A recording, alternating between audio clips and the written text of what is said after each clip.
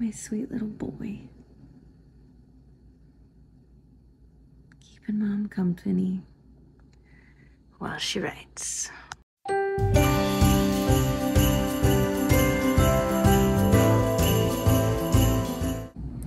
It is 10:17 and I am writing again. I was up until about 4 a.m. last night, uh, but but I finished my outline beats for the rest of the book. So we are looking at 23 tri we are looking at 23 chapters and an epilogue. I am currently going through chapter 20's outline beats and writing out the full chapter I think it will probably be the longest of the three I still need to write. Well, technically four. Uh, should start to uh, go down from there. I'm excited. I honestly don't know if I'm going to make the by end of the year exactly. It might end up being like January 1st or possibly 2nd. Depending how I'm feeling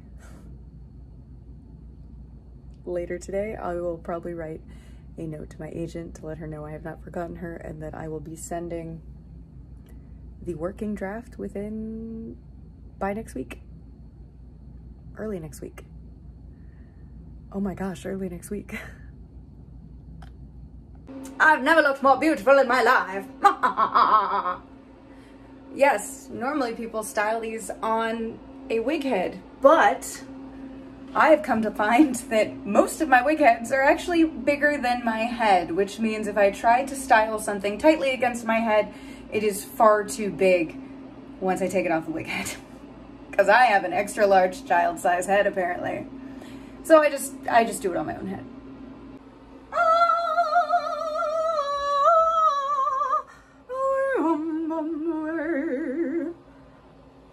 Have so many pins in my hair, holding curls in place. And now we spray it so that tomorrow, when I put it in the actual updo, the curls are maintained. Okay, has been sprayed. I'm gonna let it dry. I'm gonna spray it again, and then I'm gonna take it off my head and then put it on a wig cap. See a little, little gap. Even, even with what I've got on my head, this is still technically a little too big. oh well. I'll make it work. I'll glue it down. I need to get glue tomorrow. Designer, make it work. Oh, what are you doing up here? What are you doing? Are you spying on me?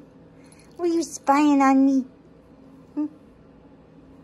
Hmm? Good boy.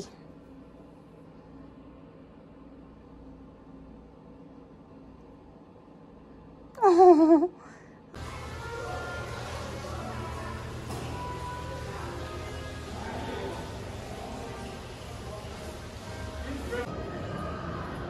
Stealing. It's tempting. It's very tempting. the dancers are rehearsing in here.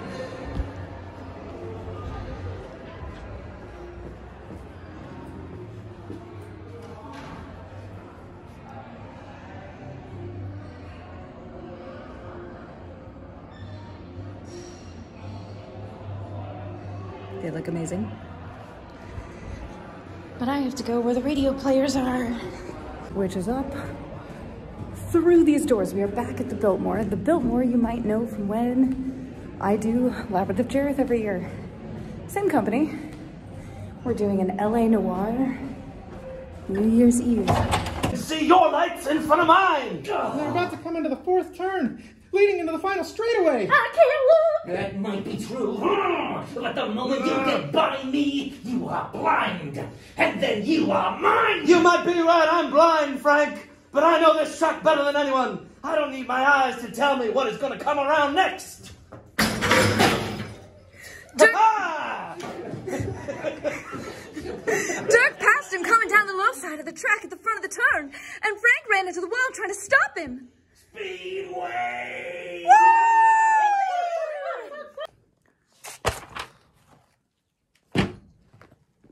So it occurred to me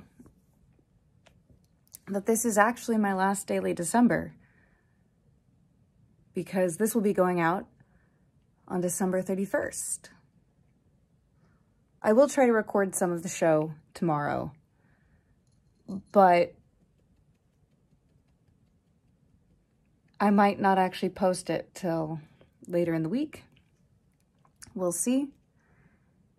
Um, this has been a great exercise and I, I'm happy I did it. I'm going to make sure I'm pacing myself and not rushing too hard. And I'm really excited to see where this takes us. And I'm looking forward to expanding in different ways and maybe even getting Angelique a little bit more into my YouTube as well.